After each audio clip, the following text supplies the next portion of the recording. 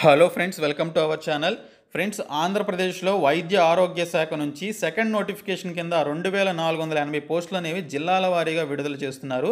ఇందులో భాగంగా మనకి టూ త్రీ డేస్ నుంచి జిల్లాల వారీగా notifications one by one release అవుతున్నాయి. ఇప్పటి వరకు ఆరు జిల్లాలకి సంబంధించినటువంటి నోటిఫికేషన్స్ అయితే విడుదల చేశారు.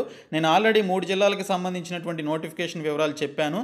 మిగిలినటువంటి మూడు జిల్లాలు ఏంటి? వాటికి సంబంధించినటువంటి ఎన్ని పోస్టులు ఉన్నాయి? ఎఫ్ఎన్ఓ ఎంఎన్ఓ పోస్టులు ఉన్నాయా లేదా అనేది కూడా చెప్తాను. అయితే ఈ మూడు జిల్లాల్లో కూడా ఎఫ్ఎన్ఓ ఎంఎన్ఓ పోస్టులు అనేవి ఉన్నాయి. వీటికి టెన్త్ క్లాస్ అర్హతతోటి అవుట్ సోర్సింగ్ బేసిస్ మీద రిక్రూట్మెంట్ అయితే చేస్తున్నారు. పన్నెండు వేల రూపాయల శాలరీ అనేది ఇవ్వబోతున్నారు ఈ జాబ్స్కి. సో ఎవరైతే టెన్త్ క్లాస్ పాస్ అయ్యారో వాళ్ళందరూ కూడా వీటికి అప్లై చేసుకోవచ్చు. అవుట్ సోర్సింగ్ బేసిస్ మీద రిక్రూట్ అయితే చేస్తున్నారు. అయితే ఈ జాబ్స్ అన్నిటికీ కూడా అప్లై చేయడానికి కావాల్సినటువంటి సర్టిఫికేట్స్ ఏంటో చెప్తాను. ఎందుకంటే మీరు ఒక్క సర్టిఫికేట్ మీరు ప్రొడ్యూస్ చేయకపోయినా మీకు జాబ్ అనేది రావడం చాలా కష్టం. కాబట్టి మీరు ప్రతి సర్టిఫికేట్ మీరు ఆ యొక్క అప్లికేషన్కి అటాచ్ చేసి మీరు సబ్మిట్ చేయాల్సి ఉంటుంది. డిఎంహెచ్ఓ ఆఫీస్లో. తర్వాత ఎలా అప్లై చేయాలని కూడా నేను మీకు క్లియర్గా చెప్పడం జరుగుతుంది. మిగిలినటువంటి జిల్లాలకి సంబంధించినటువంటి నోటిఫికేషన్స్ కానీ వివరాలు కానీ ఎలా తెలుసుకోవాలో కూడా ఒక బ్రీఫ్ ఇన్ఫర్మేషన్ అయితే ఇస్తాను. కాబట్టి మీరు ఈ వీడియో చివరి వరకు చూసి అప్పుడు ఆ తర్వాత మీరు అప్లై చేయండి. ఫస్ట్ మీరు చూడండి చూసిన తర్వాత అప్లై చేయండి. ఫస్ట్ టైం మన ఛానల్ ఎవరైనా విజిట్ చేస్తే ఖచ్చితంగా సబ్స్క్రైబ్ చేయండి. దాని పక్కన ఒక బెల్సెమ్లు వస్తుంది దాన్ని గట్టికి కొట్టి మీరు దానికి సంబంధించిన నోటిఫికేషన్స్ కూడా యాక్టివేట్ చేసుకోండి. ఫ్రెండ్స్ వైద్య ఆరోగ్య శాఖకు సంబంధించి మొత్తం ఆరు జిల్లాలకు సంబంధించి ఐదు జిల్లాలకు సంబంధించినటువంటి నోటిఫికేషన్స్ కానీ వాటికి సంబంధించిన అప్లికేషన్స్ ఫామ్స్ అయితే నా దగ్గర ఉన్నాయి. నేను ఆల్రెడీ నెల్లూరు జిల్లా శ్రీకాకుళం జిల్లా విజయనగరం జిల్లాలకు సంబంధించినటువంటి వీడియోస్ చేశాను. ఎవరైనా ఈ వీడియోస్ ఆ జిల్లాలకు సంబంధించిన వాళ్ళు చూడని వాళ్ళు ఉంటే ఈ వీడియో లింక్స్ని నేను డిస్క్రిప్షన్లో ప్రొవైడ్ చేస్తాను. వాటిపై క్లిక్ చేస్తే మీకు వీడియో ఓపెన్ అవుతుంది. ఆ వీడియోస్ కింద మీకు ఈ జిల్లాలకు సంబంధించినటువంటి నోటిఫికేషన్ వాటికి సంబంధించిన అప్లికేషన్ ఫామ్స్ అనేవి ఉంటాయి. మీరు వాటిని డౌన్లోడ్ చేసుకొని అప్లై చేసుకోండి. ఈ మూడు జిల్లాలకు సంబంధించి మిగిలినటువంటి రెండు జిల్లాలు చూసుకున్నట్లయితే కృష్ణా జిల్లా గుంటూరు జిల్లాకి సంబంధించినటువంటి అప్డేట్స్ అయితే వచ్చాయి. వాటికి సంబంధించిన నోటిఫికేషన్ వాటికి సంబంధించిన అప్లికేషన్ ఫామ్స్ కూడా నేను డిస్క్రిప్షన్లో ప్రొవైడ్ చేస్తాను. ఇంకొక జిల్లా వచ్చేసి వెస్ట్ గోదావరికి సంబంధించినటువంటి జిల్లాకి సంబంధించినటువంటి నోటిఫికేషన్ అయితే యాక్చువల్గా రిలీజ్ అయింది టూ డేస్ బ్యాకే. అయితే నేను ఒక న్యూస్ పేపర్లో చూశాను. కానీ వెస్ట్ గోదావరి జిల్లాకి సంబంధించినటువంటి అఫీషియల్ సైట్లో ఎటువంటి నోటిఫికేషన్ కానీ దానికి సంబంధించినటువంటి అప్లికేషన్ ఫామ్ కానీ లేదు. కానీ నోటిఫికేషన్ అయితే రిలీజ్ చేశారు. మీకు సం దీనికి సంబంధించి నోటిఫికేషన్ కానీ అప్లికేషన్ ఫామ్ కానీ కావాలి అనుకుంటే వెస్ట్ గోదావరి జిల్లాకి సంబంధించినటువంటి డిఎంహెచ్ఓ ఆఫీస్కి వెళ్ళి తెచ్చుకోండి. లేదా గూగుల్ ఎక్కడైనా దొరుకుతుందేమో చూడండి. నేను గూగుల్లో చాలా సెర్చ్ చేశాను. నాకైతే ఇదైతే దొరకలేదు. సో ఇప్పుడు దీనికి సంబంధించి ఈ గుంటూరు జిల్లాకి సంబంధించి ఎన్ని పోస్టులు ఉన్నాయి? కృష్ణా జిల్లాకి సంబంధించి ఎన్ని పోస్టులు ఉన్నాయి? ఎఫ్ఎన్ఓ ఎంఎన్ఓ పోస్టులు ఎన్ని ఉన్నాయి? వాటికి సంబంధించిన అర్హతలు ఏంటి? ఈ పోస్టులన్నిటికీ ఏ విధంగా అప్లై చేసుకోవాలి? కావాల్సిన సర్టిఫికేట్స్ ఈ పూర్తి వివరాలు నేను మీకు చెప్తాను. సో చెప్పబోయే ముందు మిగిలినటువంటి జిల్లాలకి సంబంధించినటువంటి వివరాలు మీరు ఎలా తెలుసుకోవాలనేది కూడా చెప్తాను. ఫ్రెండ్స్ ఇవి చూసే ముందు నేను పొద్దునే ఒక వీడియో చేశాను. మీకు అవసరమయ్యేటువంటి ఇంపార్టెంట్ పీడిఎఫ్స్ అని చెప్పేసి ఈ ఇంపార్టెంట్ పీడిఎఫ్స్ అన్నింటిని కూడా డిస్క్రిప్షన్లో ఈ లింక్స్తో పాటు ప్రొవైడ్ చేస్తాను. General studies objective bits fourteen thousand plus bits ఉన్నటువంటి మెటీరియల్ కూడా ప్రొవైడ్ చేస్తాను. Current affairs seventeen hundred plus bits ఉన్నటువంటి మెటీరియల్ కూడా ప్రొవైడ్ చేయడం జరుగుతుంది. మీరు వీటన్నిటిని కూడా వీటితో పాటు డౌన్లోడ్ చేసుకోండి. సో మిగిలినటువంటి జిల్లాలకు సంబంధించి మీరు ఎలా డౌన్లోడ్ చేసుకోవాలి ఎలా తెలుసుకోవాలి అంటే మీరు గూగుల్లోనికి వెళ్ళి what is Kurnool district official website అని చెప్పేసి టైప్ చేయండి. కర్నూలు డిస్ట్రిక్ట్ అఫీషియల్ వెబ్సైట్ అని చెప్పేసి టైప్ చేసినా కూడా మీకు ఇమ్మీడియట్గా కర్నూలు డిస్ట్రిక్ట్ సంబంధించి Kurnool dot G O V dot in అనే వెబ్సైట్ వస్తుంది. అలాగే మిగిలినటువంటి జిల్లాలకు కూడా జీఓవి డాట్ అనేటువంటి డాట్ ఇన్ అనేటువంటి వెబ్సైట్స్ అనేవి ఉంటాయి. సో ఇవి వేరే జిల్లాలకు కూడా ఇలాగే ఉంటాయి. కాకపోతే జిల్లా నేమ్ మారుతుందంతే. ఫర్ ఎగ్జాంపుల్ అనంతపురం జిల్లా ఉందనుకోండి. అనంతపురం డిస్ట్రిక్ట్ అఫీషియల్ వెబ్సైట్ అని చెప్పేసి మీరు గూగుల్లో సెర్చ్ చేయండి. సెర్చ్ చేస్తే మీకు వాటికి సంబంధించినటువంటి అఫీషియల్ వెబ్సైట్స్ వస్తాయి. అందులోకి వెళ్తే మీకు రిక్రూట్మెంట్ అని చెప్పేసి ఒక సెల్ ఉంటుంది ఒక ఆప్షన్ ఉంటుంది. దానిపై క్లిక్ చేస్తే మీకు వీటికి సంబంధించినటువంటి నోటిఫికేషన్స్ అందులో పెట్టారా లేదా అనేది మీకు ఆ వెబ్సైట్లో చూపించడం జరుగుతుంది. సో ఇప్పుడు నేను ఏ విధంగా అప్లై చేయాలి? ఈ జిల్లాలకు సంబంధించిన పూర్తి వివరాలు చెప్తాను చూడండి. ఫ్రెండ్స్ ఇది గుంటూరు జిల్లాకి సంబంధించినటువంటి నోటిఫికేషన్ ఇది. దీనికి సంబంధించి మనకి ఇక్కడ చూసుకున్నట్లయితే అఫీషియల్ నోటిఫికేషన్ రిలీజ్ చేశారు. ఇందులో ఎంఎన్ఓ ఎఫ్ఎన్ఓ పోస్టులు కూడా ఉన్నాయి. స్టాఫ్ నర్స్ ల్యాబ్ టెక్నీషియన్ ఫార్మసిస్ట్తో పాటు ఇక్కడ స్టాఫ్ నర్స్ నూట పంతొమ్మిది ల్యాబ్ టెక్నీషియన్ నలభై మూడు ఫార్మసిస్ట్ ఇరవై మూడు ఎంఎన్ఓ పద్దెనిమిది ఎఫ్ఎన్ఓ పదిహేను ఉన్నాయి. ఎంఎన్ఓ ఎఫ్ఎన్ఓకి పన్నెండు వేలు పన్నెండు వేల చొప్పున పో శాలరీస్ అయితే ఇస్తారు. ఇవి ఓన్లీ అవుట్సోర్సింగ్ బేసిస్ మిగిలినటువంటి మూడు పోస్టులు వచ్చేసి కాంట్రాక్ట్ బేసిస్ అనమాట ఇక్కడ చూసుకున్నట్లయితే క్వాలిఫికేషన్స్ ఇచ్చారు. సో ఫార్మసిస్ట్కి సంబంధించి ల్యాబ్ టెక్నీషియన్కి సంబంధించి స్టాఫ్ నర్స్కి సంబంధించి మీకు క్వాలిఫికేషన్స్ తెలుసు. ఇంకా ఎంఎన్ ఎఫ్ఎన్ఓకి కూడా టెన్త్ క్లాస్ పాస్ అయితే చాలా అప్లై చేసుకోవచ్చు ఎవరైనా కూడా. తర్వాత సెలక్షన్ ప్రాసెస్ ఏ విధంగా ఉంటుంది అంటే హండ్రెడ్ మార్క్స్ తీసుకుంటే మనం హండ్రెడ్ మార్క్స్లో సెవెంటీ ఫైవ్ మార్క్స్ అనేవి మీరు చదువుకున్నటువంటి స్టడీస్కి సంబంధించి ఆ పర్టికులర్ క్వాలిఫికేషన్కి సంబంధించినటువంటి మార్క్స్ని బేస్ చేసుకొని ఇస్తారు సెవెంటీ ఫైవ్ మార్క్స్. తర్వాత వెయిటేజ్ ఆఫ్ ఎక్స్పీరియన్స్. మీరు ఎక్కడైనా కాంట్రాక్ట్లో కానీ అవుట్సోర్సింగ్లో కానీ మీరు ట్రైబల్ ఏరియాలో కానీ రూరల్ ఏరియాలో కానీ అర్బన్ ఏరియాలో కానీ మీరు వర్క్ చేసినట్లయితే ఆ ఏరియాని బట్టి మీకు ఈ విధంగా మార్క్స్ అనేవి ఇవ్వడం జరుగుతుంది. తర్వాత weightage for number of years since passing qualifying ఎగ్జామినేషన్కి సంబంధించి మీరు ఎప్పుడైతే పాస్ అయ్యారో అప్పటి నుంచి ఇప్పటి వరకు ఎన్ని సంవత్సరాలు అయితే అయిందో సంవత్సరానికి ఒక మార్క్ చొప్పున ఇవ్వడం జరుగుతుందనమాట సో అది ఇక్కడ ఇచ్చారు. మొత్తం మీరు పది సంవత్సరాలు కనుక చేస్తుంటే పది మార్కులు వస్తాయి మీకు ఈజీగా. తర్వాత ఇక్కడ చూసుకున్నట్లయితే ఫ్రెండ్స్ ఇక్కడ మనకి క్లియర్గా మెన్షన్ చేశారు.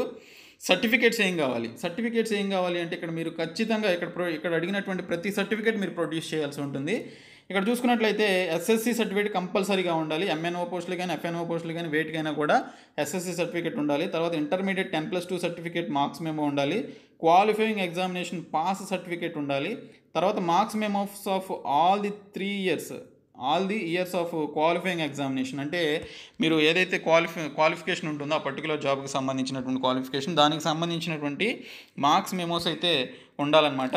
తర్వాత చూసుకున్నట్లయితే ఇక్కడ ఇంటర్న్షిప్ సర్టిఫికేట్ అని చెప్పేసి అడిగారు. మీరు ఇంటర్న్షిప్ అంటే మీరు ఒక అప్రెంటిస్ లాగా ఎక్కడైనా వర్క్ చేసినట్లయితే ఇంటర్న్షిప్ ఏదైనా చేసుకున్నట్లయితే దానికి సంబంధించినటువంటి సర్టిఫికేట్ అనేది ప్రొవైడ్ చేయాలి. ఇఫ్ అప్లికబుల్ అన్నాడు కాబట్టి మీ దగ్గర ఉంటే పెట్టండి లేకపోతే పర్వాలేదు ఏం అవసరం లేదు. తర్వాత లేటెస్ట్ క్యాస్ట్ సర్టిఫికేట్ లేటెస్ట్ అన్నాడు. అంటే మీకు లాస్ట్ సిక్స్ మంత్స్ బ్యాక్ ఉన్నటువంటి తీసుకున్నటువంటి క్యాస్ట్ సర్టిఫికేట్ అయితే మీకు చాలా బెటర్గా ఉంటుంది. బాగా ఓల్డ్ అయితే పనిచేయదు. కాబట్టి లాస్ట్ సిక్స్ మంత్స్ ఉంటే పెట్టండి. లేకపోతే ఇమీడియట్గా అప్లై చేయండి. టెన్ డేస్లో వస్తుంది మీ సేవలు అప్లై చేస్తే. తర్వాత ఫోర్త్ క్లాస్ నుంచి టెన్త్ క్లాస్ వరకు ఉన్నటువంటి స్టడీ సర్టిఫికేట్స్ కావాలి. కంపల్సరీగా పెట్టాల్సి ఉంటుంది. తర్వాత in case of private study residence కనుక ఉన్నట్లయితే ఫోర్త్ క్లాస్ నుంచి టెన్త్ క్లాస్ వరకు స్టడీ పీరియడ్ ఉన్నట్లయితే తహసీల్దార్ నుంచి ఎంఆర్ఓ నుంచి మీరు దీనికి సంబంధించినటువంటి కన్సర్న్ అథారిటీ నుంచి మీరు అప్రూవల్ అనేది తెచ్చుకోవాల్సి ఉంటుంది.